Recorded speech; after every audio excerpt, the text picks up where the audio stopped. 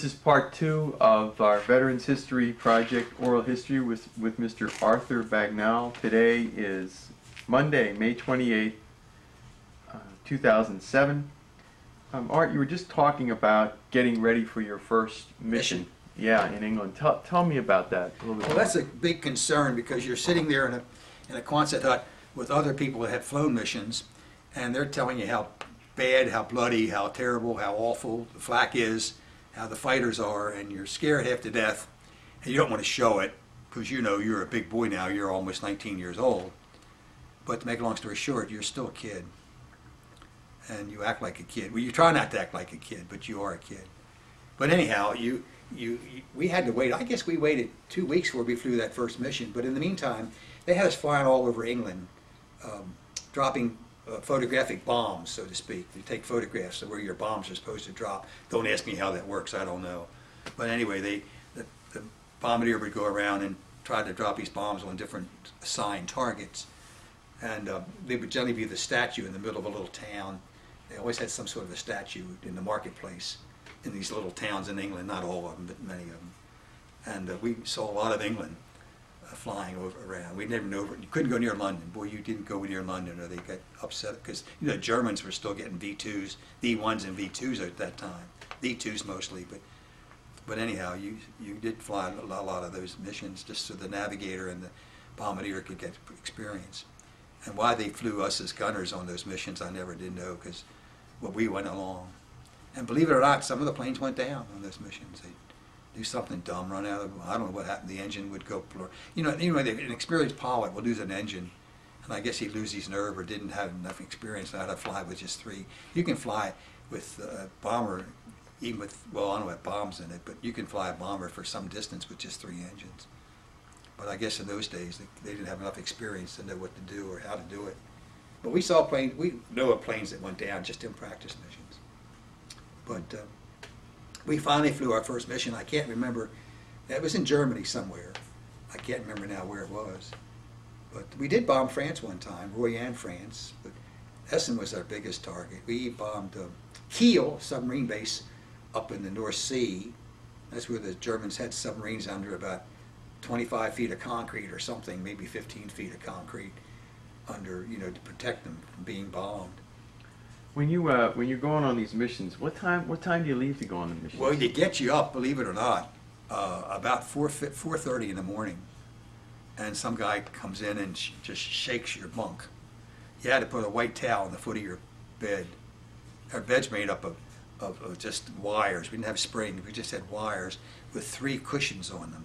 We had to wire the cushions together so that they would stay together, and but uh, and of course no sheets, but we had uh, we had lights in the in the in the Quonset hut.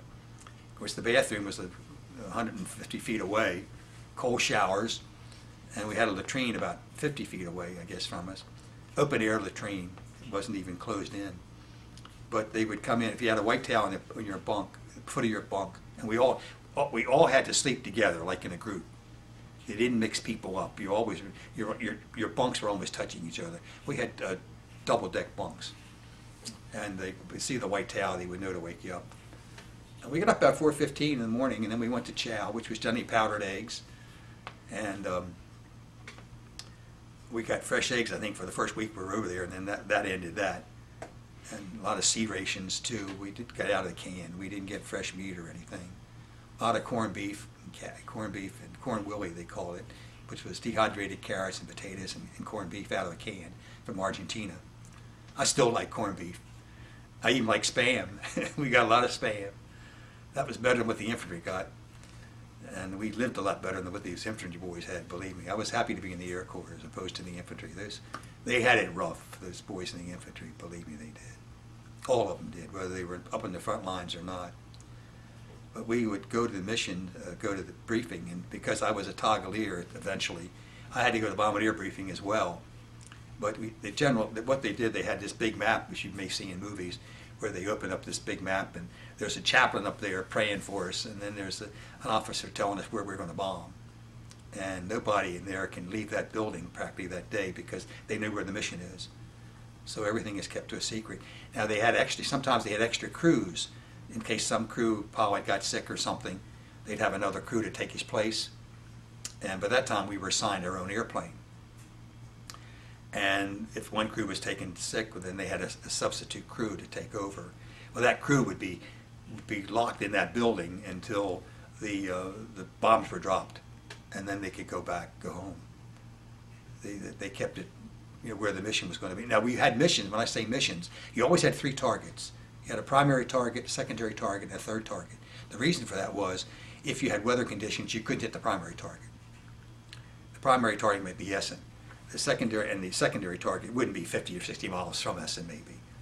Uh, and, the, and the third was that quite often we didn't hit the primary target because of weather. If it cloudy, if it had so many clouds, uh, we, we couldn't bomb. We could bomb through clouds, but it wasn't advantageous to do so. So um, I don't think the bomb sights could see through clouds, but they could go through some cloud coverage. So quite often you'd, uh, well, once in a while you you would hit the primary target. Mhm. But uh, anyway, you knew where you were going, and you knew how you were going to get there, and you did evasive action. In other words, you didn't fly from here to New York. You went, uh, you didn't, you went around Philadelphia to get to New York. You didn't want them to know where you were going. You didn't want the Germans to know where you were going to end up going. But we hit the targets. This is, I think, good and humanitarian-wise thinking. We try to hit the target between 1, 12 and 1 o'clock in the afternoon. And the reason for that was, uh, these are industrial targets. If it's a military target, you didn't care. But industrial target, you were going to bomb French and Polish and Czechoslovakian prisoner, but I won't call them prisoners. Well, you may be prisoners. The Germans had to go, you know, their people were all in the army and, and navy or whatever. So the Germans went around to the French and the, and the Russians and Czechoslovakians, and they put them to work in these factories. Women, men, and whatever, children too probably. So you didn't want to try to kill them. You just wanted to knock out the industry. So for the first part of the war, at least when I was over there, you went after military targets. Then eventually you just hit cities. And that was, we weren't supposed to just hit cities, but we, I think eventually they just hit cities. Well, of course, we didn't always hit the target either. We missed a lot of targets, what I'm told. But you, uh, you try to hit it at noontime when the, the people weren't there. You didn't want to kill innocent people, not willingly. We wanted to get Hitler, but we couldn't, and Hitler's crowd, but we didn't seek, succeed in doing that. But we, the first mission was scary because you, you thought the worst, you know. And of course, after it was over, you felt relieved. We had, you, you took off in formation and uh, you, you flew around England. if the weather was clear, you because England had so much bad weather, even during the, the, the winter especially, uh, you might have to go up to 10 or 12,000 feet to get out of clouds. And that was tricky too, because you'd sometimes miss airplanes climbing up there with you. And when you got up there, there was a, uh, your, your squadron had a, a, a, ship up there that wasn't going to go, was not going to go on a mission. He was up there empty, flying around, shooting red and green flares or red and blue flares off, and that's the guy you followed. You formed, in other words, you formed as a, a bomber group, as a squadron. Um, um, over, you, you followed this particular uh, airplane that was up there flying around, shooting off different color flares that you knew what you had to follow, and that's who you aim for, and you just form your formation from that point. So it might take you 20 to 35 minutes to form a formation, and then you would leave England, generally through, uh, you leave the coast of Great Yarmouth, which is on the uh, east coast of England, and we fly out of Great Yarmouth um, and uh, then go for the target, whether it be, in most cases it was Germany, one, one time it was France. But um, that's how you form the form, you form the formation before you got over the channel. And over the channel you'd fly maybe six or 7,000, 8,000 feet. About 300, 400 miles where you hit the lines, wherever they were, you would go up to 20,000 feet. Now, and in this formation, how many planes do you recall? I think it was about anywhere from 12 to 13 airplanes in a in a squadron. But then you had three squadrons. You had a lead squadron and a top squadron and a lower squadron, and they were separated by about 500 feet of elevation. elevation. Mm -hmm. And um, you you the the lead squadron was Jenny in the middle, mm -hmm. and he was the guy with the bombardier, and he had a colonel flying you know, leading the whole mission. I think it's generally a lieutenant colonel at least, or maybe even a full colonel. No, no, lieutenant colonel. Full colonel, I think, anyway. And once in a while the chaplain would fly. And once in a while these gunnery instructors were made to fly. They had to fly so many missions supposedly, you know, over a period of time. And because missions were different, you know, you'd hit flak one time, one time you'd hit fighters, one time you wouldn't see anything. Many times you wouldn't drop the bombs. The target would be clouded, clouded, and you couldn't, you couldn't drop your bombs, and you'd come home. You didn't get credit for that mission, unless you saw fighters.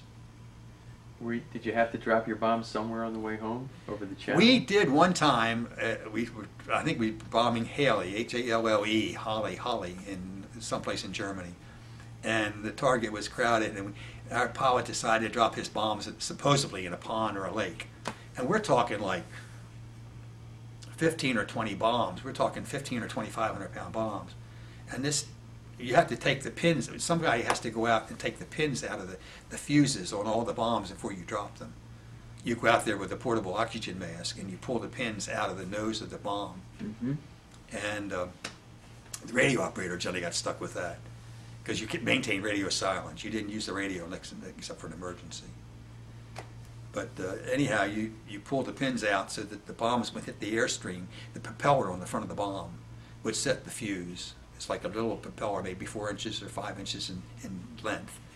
And when the airstream hit the, hit the bomb, it would turn the propeller, revolve the propeller, and that would set up the fuse, I guess. And uh, those bombs made quite a big smoke thing down when, he, when the, you could see him go off. But uh, we dumped him in the lake, and boy, did he get chewed out for that.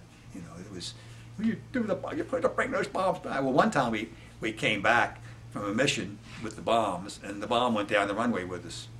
Really? Didn't go off, thank God it didn't go off. I don't know whether because we didn't have the fuse set or what, but the bomb fell out of the airplane and went right down the runway with us. But that was kind of scary. Went right through the bomb bay. But uh, the first mission was really t- scary. And then after that, you felt more comfortable. It wasn't as bad as they said it was. We hadn't seen fighters probably. I don't remember what the first mission was.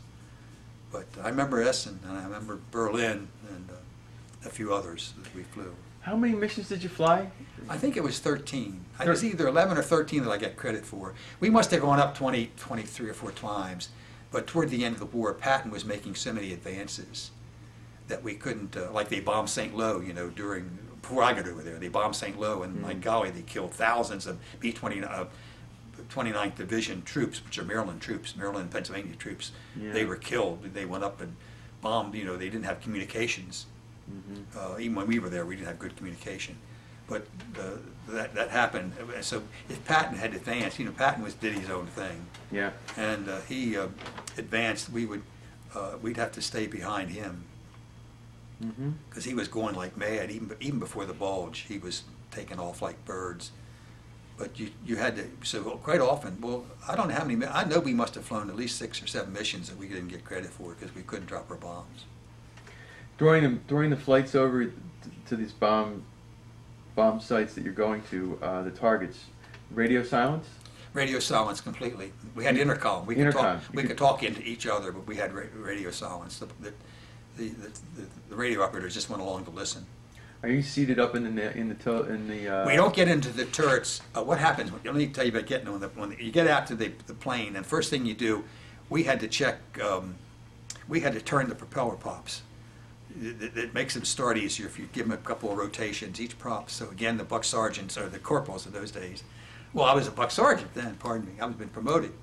Uh, you had to turn the props. So Fordron and I would get the duty of turn. He turned one blade of the prop, and I turned the other one. Now, a 135 pound turkey like myself, turning the props wasn't that easy. And then we had to get flak suits and get on. And then it was my job also to check all the oxygen. I had to go each station to make sure the oxygen was working in each gunner station. The pilots checked their own. And so you had, each one of us had duties that we had to perform. The engineer, for example, he was the, he was the Sperry, he was the um, Martin turret top gunner. He, he had to do certain performances. He had to, with the ground crew, man, he had to talk about how, what, what problems were they having, are the engines okay, blah, blah, blah. Is the hydraulic system working, blah, blah, blah, you know. Are, are the ailerons working, you know, the whole bit. He had to go with the, with the ground crewman. The ground crewman would pre-flight the, the planes. At four o'clock in the morning, while we were having chow, they would run up the engines and they'd check them out to see that they were operating, you know, efficiently, uh, and move the parts and so forth. I mean, maybe check the radios up, I don't know, but they did some of those things. Check the instrumentation of, of the aircraft. Of course, those airplanes weren't as complicated as they are now. They didn't have the equipment on them that they have now. But uh, we would get in the plane with our flak suits, and then we would all start getting dressed because we put on heated suits. We, we wore long john underwear, and then heated suits, and then our heated boots. Uh, and our shoes, of course, we would take off and, and would tie those around our neck. Or if we couldn't get them in the turret with us, we'd have them close by because you needed those if you bailed out. And our parachute had to be close by. Uh, and we had, a, uh, for example, we had a, where I was up in the nose. There was a what they call a, the wheel turret. The, the, the airplane had a tricycle landing gear, the nose wheel and two other wheels, and there was an opening to get out right where the nose wheel was. So you could jump out there if you could get by the nose wheel, and uh, when you're in flight, and you had to you had to have the the, uh, the nose wheel down to get out, I guess, and then we had what they called a camera hatch in the back. Um, of the plane, you could get, the people back there could get out through that. But um, we fortunately never parachuted out. You know, we never even practiced parachuting out, fortunately. But uh, you knew how to do it, or you, you, you hoped you knew how to do it. But if you landed without your shoes, you were in trouble. That's a good point. I would not have thought about that. You had to have those shoes. That's a good But we carried, we carried a 45 pistol, and we had ammo, and we had, uh, uh, in our pockets, our flight suits were kind of snazzy. We had uh, pockets with maps. We had, ma- uh, the part of Germany we were going over, for example, they gave us two or three maps, all folded up like in material, made out of material of some kind. They were folded, and you didn't open them unless you had, you know, unless you had to. And we had them in our pockets, so if you landed near Munich, Germany, for example, you could hopefully find your way to Switzerland, hopefully. And some people did, believe it or not. Many didn't, but mo- some did. But uh, they, they they took care of us. They they tried their darndest to make it as safe for us as they could.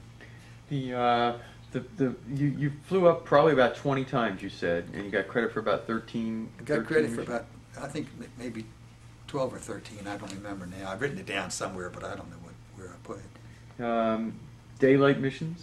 They were all daylight missions. All daylight missions. Some of your memories you talked about in the in the first uh, thing, like seeing the flak coming up, going through the flak. You're at twenty some thousand feet, right? It's only about twenty-two thousand feet. You to be higher if you could get up higher. Yeah. When did you become the toggle guy? Was that because of the bombardier? The bombardier, I think after three missions, he uh, just disappeared. I don't, I don't know. I can't remember now. or I don't remember. I don't think we even told us, but somebody said he cracked up, but I, I don't know. But uh, anyway, he he was no longer. So um, I was moved up from the waist because the bombardier would have um, the um, the nose gunner would have um, had the uh, the navigator would have flown that turret probably uh, if the bombardier was there. I think that's who would have flown it. No, no, I would have flown that turret. I'm all, I'm all wet. No, I would have had that turret, period. But there was a bombardier, a nose gunner, and a navigator all up in this little area. And we're talking about a, a, a place about three and a half by four and a half feet. Okay. Three guys in flak suits, and you know they didn't all they didn't all weigh 135 pounds like I did in that one little area, plus the nose wheel sitting in your lap, and um, so it was pretty crowded in, in that part of the aircraft. But uh, the turret was one third the size of the area we're talking about, and uh, I, that's right. The, the nose gunner just was a nose gunner, but the other without a bombardier, I would. Um, have this toggle switch in my turret.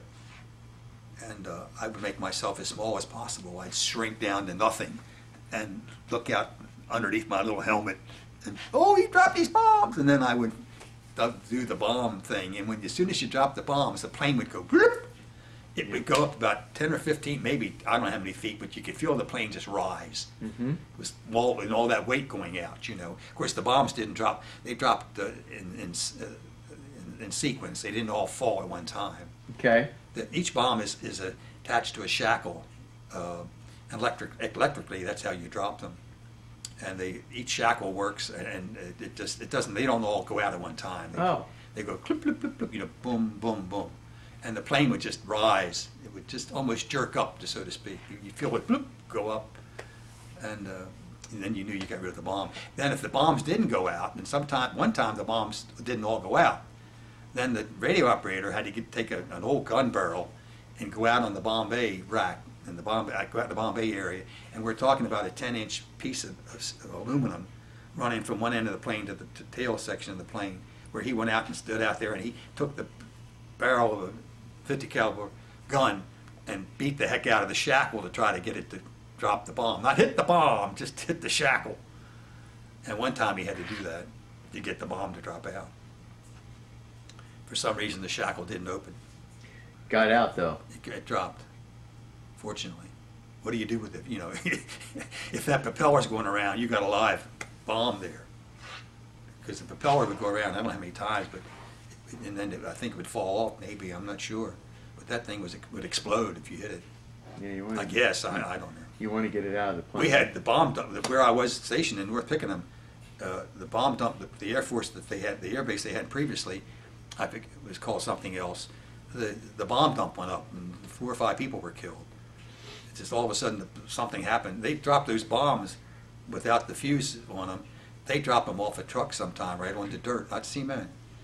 And, and then they put them on a wagon they had little hand cranks that put the bombs on the wagon so they could move them underneath the air. See, they bombed the airplanes during the night. In other words, the mechanics would work on the planes practically. When we came back from mission, those mechanics deserved a medal. They really did. They were two of them would work on an airplane all night long, either patching up the holes if there were holes, and then there weren't always holes in the plane.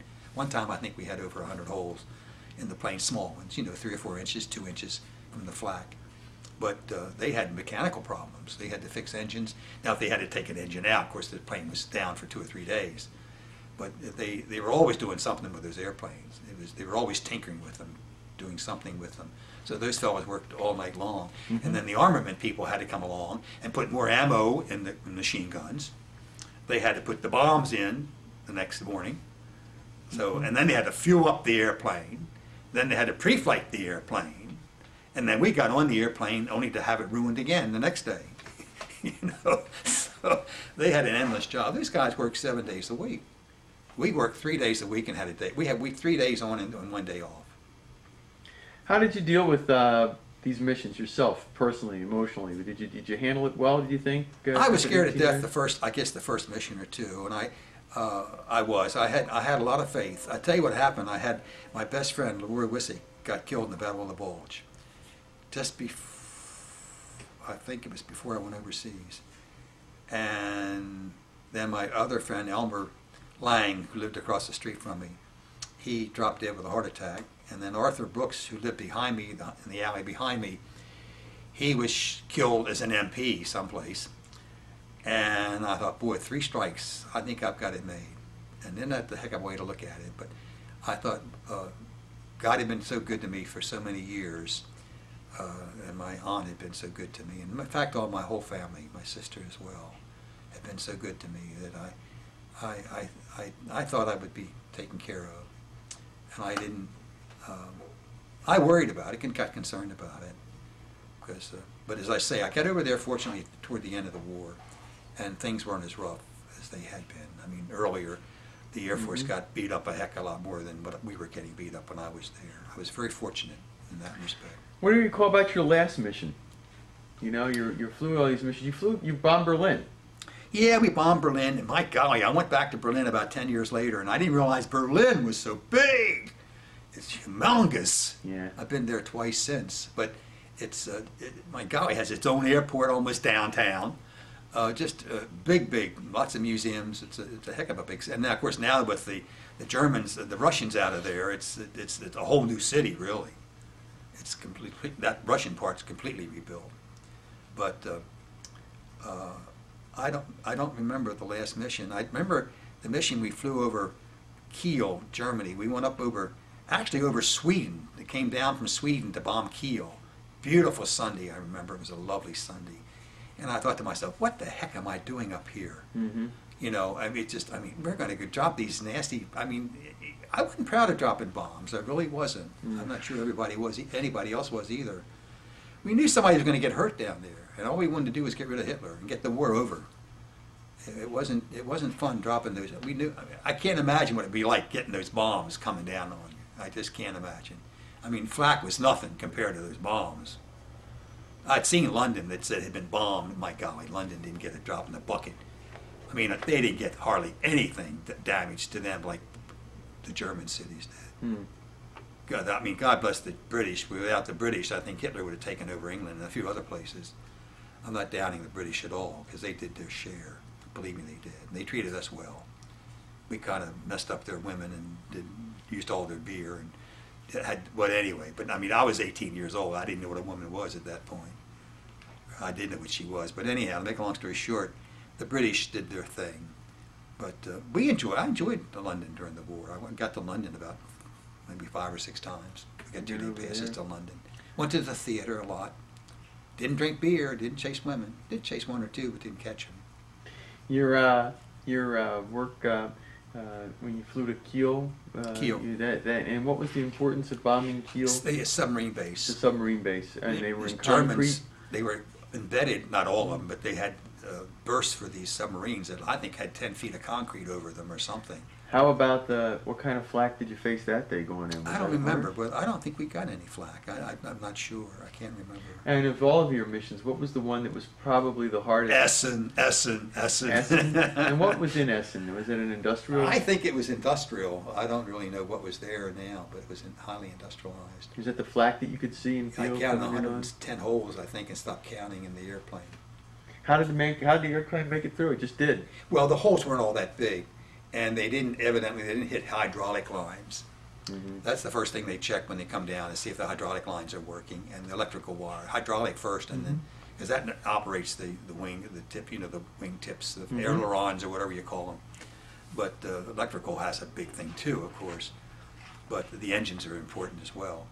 But in the fuselage, we count over 110 holes, I think, and then we stopped counting. But they weren't. Some of them weren't that big. They were some of them maybe one or two or three or four inches in, in diameter.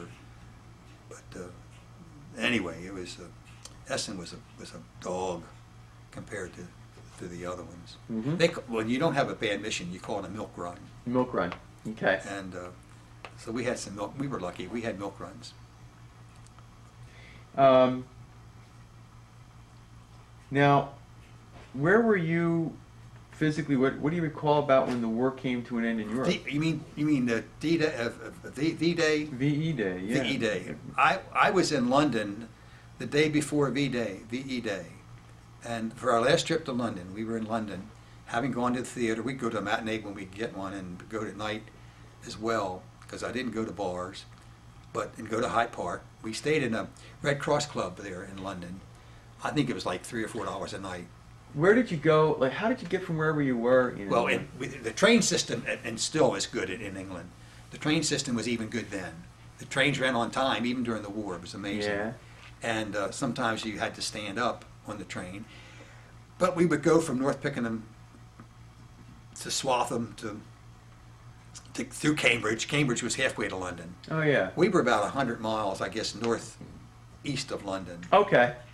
And uh, of course, London was a big, big city. And we would land. We had to get on the. We, the railroad station was on one side of the the uh, the river. Now, what's it called in London? The river The Thames. Thames. Thank you. Mm-hmm. My memory's starting to go. Mm-hmm. Uh, we'd had to go to. We had to get on a subway to get to uh, across from one. London had like f- maybe five or six railroad stations, and they were scattered all over London in a way, in the outskirts of London for, for, mostly. And uh, I don't think any of them were really downtown, but the Thames. And you had to get from there in a cab, which is expensive, or take a subway or something, and get to where you were going. And we always stayed at, near Hyde Park. The um, I want to say Red Cross, but I'm not sure it was Red Cross. It may have been Red Cross. The Red Cross, by the way, did one heck of a job. I mean, my sister was in the Red Cross, but and I heard criticism about the Red Cross workers and all that. But I, never, I never saw a Red Cross worker or Red Cross situation where they didn't do, I thought, an outstanding job. But anyway, we would go from the train station to to Hyde Park, which is the big green park in London, and our, we would we'd go to this club, which served um, well, it served some food, tea mostly, and stuff to eat. And then you could get billeted there. And we'd go to an, actually a house in London. We'd go maybe three or four blocks away to get a house where they had rented a house where they had put in army cots, you know, two uh, two deckers, Mm-hmm. and I think for three or four dollars a night, we could stay there, and then the limeys, as we call them, not to their face, but these ladies would come up and give us hot tea and something in the morning for what they call breakfast toast, I guess that was. Even if we had just our underwear on, they'd come bouncing into the room, tea, tea, you know, and they'd give us a cup of hot tea and this, this biscuit or whatever it was. But we could stay there, Mhm. uh, and they had a shower uh, there, but they had a, a valve on the shower that literally the shower was just a trickle. Mm-hmm. It wasn't a shower. It was just like somebody turned the faucet on very slowly. And, and so we would take a wrench with us every time we went to London to take that thing off the faucet, Mm-hmm. off the off the fa- faucet, the water faucet that came out. Mhm. So we'd get a stream of water coming out, and then we'd put it back when we left. But you know, these young kids had ingenuity, didn't they? In those days, Yes, I wouldn't. I wouldn't have thought of it now. But that's how we got showers there while we were. We got a two-day pass every month to go to London. We could only go to London or Cambridge. So after one trip to Cambridge, we said, "The heck with it, we're going to London." I saw the Cambridge University campus, which was fabulous, and all that. But London had a lot more going. The theater. Yeah, you're really lucky. Did you have a chance to uh, communicate with your family back here in uh, in the Baltimore area? Uh, No, you we, I never called them or anything. I guess you could call them, but I never did. Uh, and I never called them. Now, what the so you were actually in London the day before VE Day? I was in May? London the day before VE Day, and uh, we got home. Um, we may have gotten home the day before VE Day, but I think we got home VE Day actually. Well, VE Day was quite a celebration. Uh, we had one nut who was a gunner, was firing his 45 automatic out the back door. In the meantime, the colonel or somebody, I think it was a colonel, lieutenant colonel, came around between shots through the door that- where the fire was going out. He got put in the brig. Mhm. They immediately took all the pistols away from us, which they should have done, or did do, so there wouldn't be any celebration. Um, and of course, we were happy as larks that the, the war was over. Or at least the peace treaty had been signed. Uh, the war wasn't over, I guess, but the peace treaty had been signed. And um, but we were uh, that was in May, I believe. Mhm. We didn't come home until early July, late June or July. They had to wait till the we brought our B-24 home. You actually flew flew, We flew it back. yeah. Where'd you uh, fly to?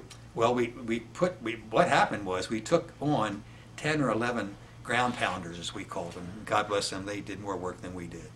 And they deserve a lot more, a lot of credit too, not just the guys that flew the airplane. You know, the average guy could fly an airplane with targets in, during the war. In, in four or five months, he was through his, his thirty missions and home. Mhm. These guys stayed over there for two or three years Mm-hmm. And um, didn't get flying pay either. You know, we got 50% flying pay and 10% combat pay. I was making $135 a month. That was real That's a lot bucks in those days. Mm-hmm. Uh, but anyhow, because when I got out of college, I was making $200 a month. But anyhow, uh, Mm-hmm. we we had uh, we came home uh, by the way of uh, Scotland, where my family came from. The Bagnalls are from Scotland, and then we went to Greenland, Iceland again, and then Greenland, and then uh, uh, Nova Scotia, Mm-hmm. uh, and then back to Connecticut, and then we came home to a 30-day leave. And I, we were on our way to Okinawa, actually. That's one reason why we brought the planes back. We left all the bombs there. Really? Just brought planes back, and we were on our way to Okinawa with Jimmy with Jimmy Doolittle. But by the time we got back in July uh, and got out to Ephrata, Washington, state of Washington, uh, we were told pilots with so many 135 points you needed, you could get out. And um, I only had something like 64 points, I think. Mm-hmm. You got points by the number of months in service, number of months overseas. Missions didn't count. It was that kind of service. Longevity, I think, counted. And uh, rank didn't count either. But um, then they told us that they were unloading ships in Seattle, taking troops off of them. They weren't going to Okinawa. They weren't going to Okinawa. They were going over there to, to invade. Well, they're going to Okinawa to to invade Japan, yes. But fortunately, they dropped the atomic bombs or unfortunately for the Japanese, they dropped the atomic bombs and we didn't have to go to Okinawa. So I just stayed in the of Washington I guess, for six months or longer, and uh, worked in the BOQs, um, BOQ, Bachelor's Officers Quarters. What, what, what part of Washington was it called? Ephrata, Washington. It's almost in central Washington. It's in the wheat country. It's uh, Ephrata, E-P-H-A-T-R-A, And that's a, uh, that was an air base? an air base. Uh-huh. And uh, so you're you're when you flew back from London, fr I mean from uh, from England, you flew you flew back in about July of '45, Right. and you were actually went you, you landed in Connecticut and had and had We gave, we landed in Connecticut, and this is funny, I think, and unusual. They took our oxygen masks from us. We all had two oxygen masks. Uh, they took all our flying equipment, our heated suits, and very carefully put them in sheets, white sheets, right on the runway, right on the tarmac, and got our last four digits of our serial numbers, which is 4823. And they wrapped them all up, and they had like 10 bundles. Now, the guys that we brought back with us, the ground pounders, they just took off. You know, they went someplace. And we gave up our airplane. We didn't, we didn't see that airplane again. And we got on trains or buses and stayed up there for a night or two. And then we were given furlough. But when we got out to Ephrata, Washington, believe it or not, the sheet opened up. Well, it wasn't a sheet. It was a big paper bag. And the, here is B4823. Bagnall, this is yours. They handed me my oxygen mask, my flying equipment, really you name it. They handed you everything. And how, when you got out to Ephrata, Washington, how did you guys get out there? Did you fly? We went out, I think we got out there, no, no, no, we went out on trains. Yeah. We went, I think we went to Fort Meade and, went out on a troop train. I'm Did- not sure. Did We- you have to meet up? Did you meet up with your crew at Fort Meade, or did you just No, we just met, sort of we, got we met up out there, I think, it because they came from all over the place. So now you're all set. The same crew, Same all crew. set to maybe go to, to Japan. Well, we're going to go on a ship to go to Okinawa. All right. At first, they were going to fly us. They were going to fly us from England around through India to get to Okinawa. And they decided that wasn't feasible or practical. And they decided to send us home and give us, a, of course, we, we love that, getting home, you know. Truth of the matter is, we should have stayed over there another six or months or two more years and kept the damn Russians out of the area. But we, Mhm. my uncle, who retired from the army, when I got home, said, "Good to see you, son, but you should have stayed over there." What are you talking about? And this dumb, dumb uncle of mine, he must have been sixty-some years old at the time, because my father was almost sixty. He was older. He said, "It's good to have you home, but you should, you and the rest of you should stay over there and keep those dirty Russians out of Europe." And I, you're out of your mind. I didn't say this to him, but I mean, I thought, you're nuts. And I thought, where did this kid get his smarts? You know, where he didn't go to college. You know, where did he get all this? You know, He knew what was going uh, on. he knew what was going on. He'd been in the service for 27 years. He got credit each month he was over in, in the army, over in the Philippines or in the, Europe. He got t- uh, time, double time for that serving during wartime.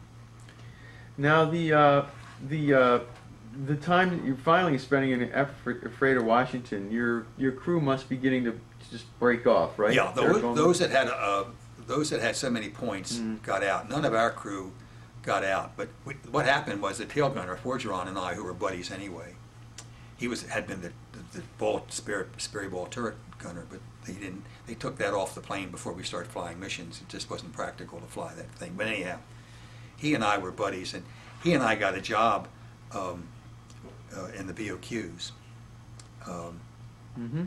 I did administrative work there. Well, I was in charge of the janitors, taking care of the BOQs, and uh, cleaned up the latrines and that sort of thing.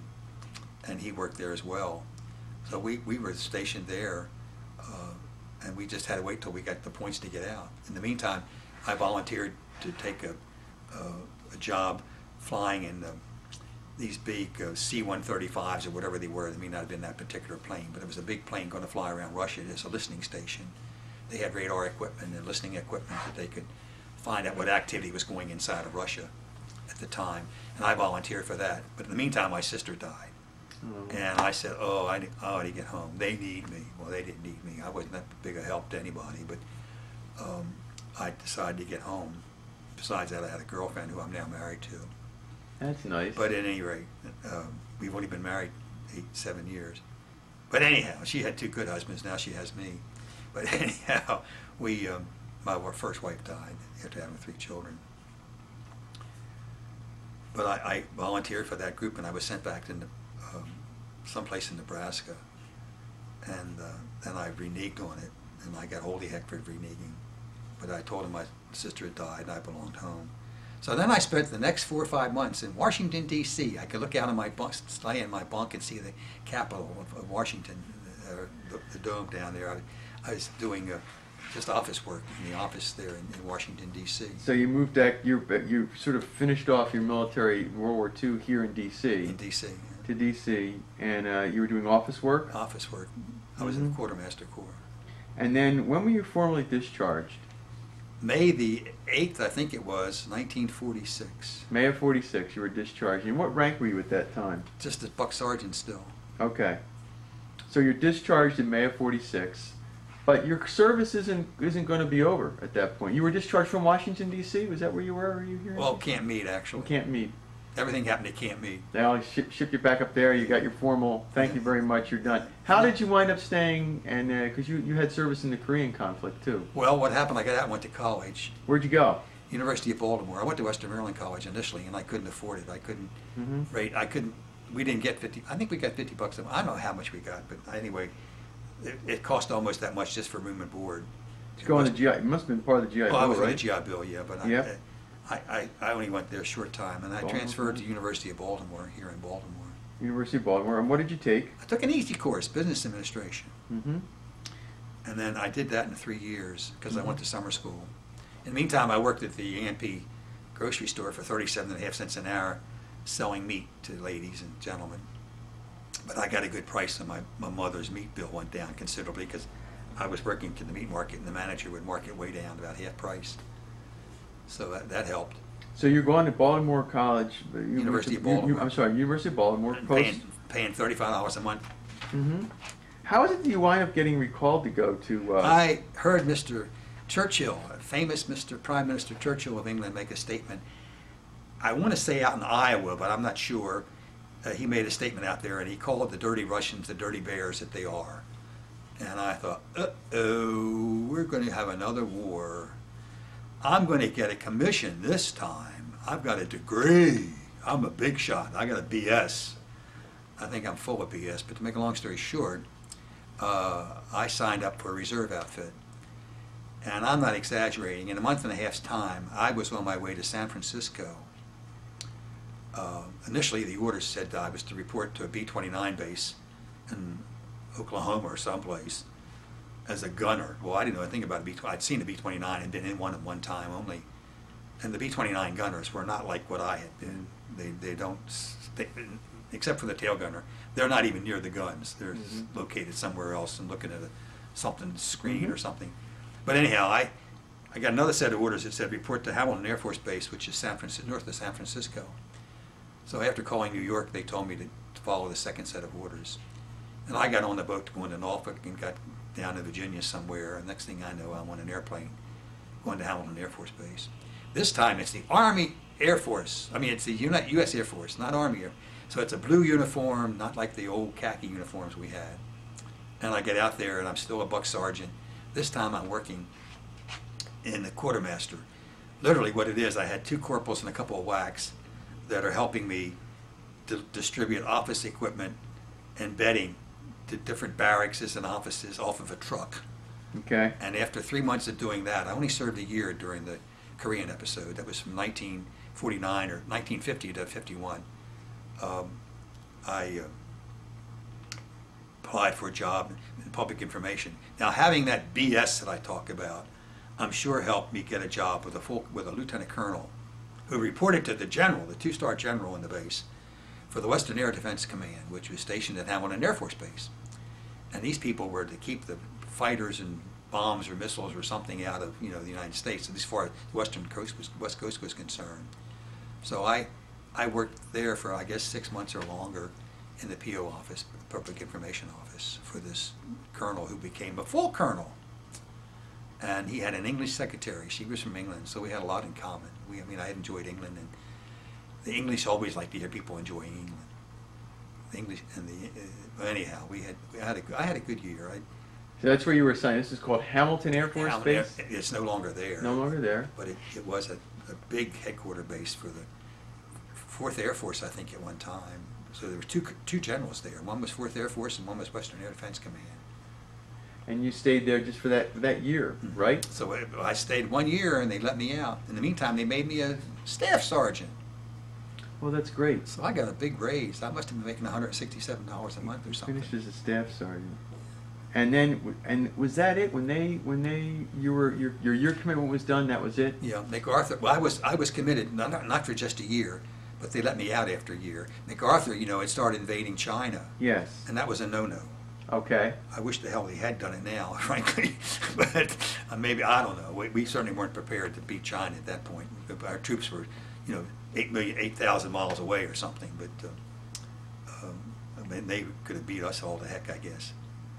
But anyway, I he made that statement about let's go to get China, and they brought MacArthur home. And as a result of it, I got out. Oh, what happened was I, I, I was going to get a reserve commission, and all I had to do was throw my BS degree at them and go before a review board of, you know, several officers and whatever, Mhm. and maybe answer some questions or something. But the problem was, my sister had died, and she was really my cousin, but she, I like my sister because I lived with her all my life. And uh, I thought, my, I better get home. And um, that, that's what I did. Oh, no, that, yeah, that's what I, I'm, I'm getting my stories mixed up about one war. Well, that was the end of World War II. Um, uh, Yeah, that's. when you came back no, there. it- it- Actually, I was wrong about World War II. This was, this was the, I Okay. don't, I don't know. I'm, I'm, I'm confused. I can't remember. So you wanted this reserve commission, but, uh. I had to go, I had to stay in for two years. and, uh, And I, you're going overseas if you take the commission. This is the word I got. And going overseas meant Korea. Now, Korean Air Force wasn't that bad. You know, you get, you didn't get, you got shot at, but you didn't get shot at on the ground. So I decided I didn't want to try for the reserve commission, so I took the discharge instead. So I got an honorable discharge for the second time. Excellent, and that ended your, that ended your service, for sure. I got out, I somehow got out of the reserves along with it. I don't know how that happened, but I did. Now, let me ask you as we, as we wrap up here, uh, in the next couple, number of minutes, I just wanted to ask you a couple questions. Now, did you keep in contact with the guys you fought with in World I War II? I kept in contact with uh, uh, Arthur Forgeron um, for a number of years. He came down to, to Baltimore, to Baltimore, where I was living at the time, two or three times. Uh, I went to Boston on one occasion. Then we stopped communicating. Uh, I did not keep in contact uh, with Warren Evans. He was the radio operator. I kept in Mhm. contact with him for a while. He was already a father when I knew him. But I, I don't keep in contact with any of them now. Okay, And they're not listed in any of the eight there. I get eight Air Force uh-huh, uh, newsletters. I- In fact, I get, we have a newsletter from our 491st Bomb Group, which is what I was overseas, was called the 491st Bomb Group, uh, 853rd Squadron of the 8th Air Force. And I get a newsletter every, every two or three months from them, and they're not even listed in it. did you, uh, did you go to reunions? Never been to a reunion. How about going back to England? You been back to England? been back to England, I guess, at least six or eight times.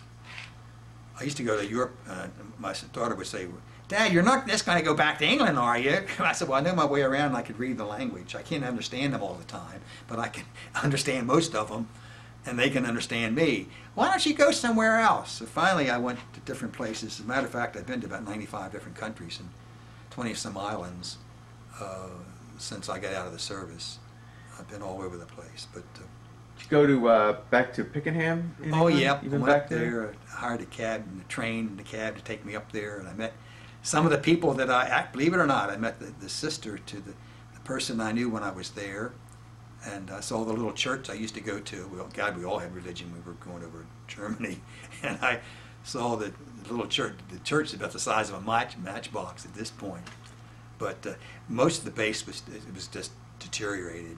But on the runways, they were running uh, raising turkeys hmm then I found out recently they're not raising turkeys there anymore. I get the magazine, I get this article about every three months from the 491st Bomb Group, and it tells us what's going on over there. They must have uh, markers, mementos to the, the people that were there. Do you think are there any plaques or, uh, you know, if one were to go to I don't know, even today? even the little gro- what they call the iron ironmongers and the grocery store, they call them munglers for some reason.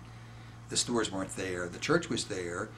The tavern was there when I went back, but um, I was the only one that went. And what was stupid, I went about a week or 10 days before they were having a reunion at that air base.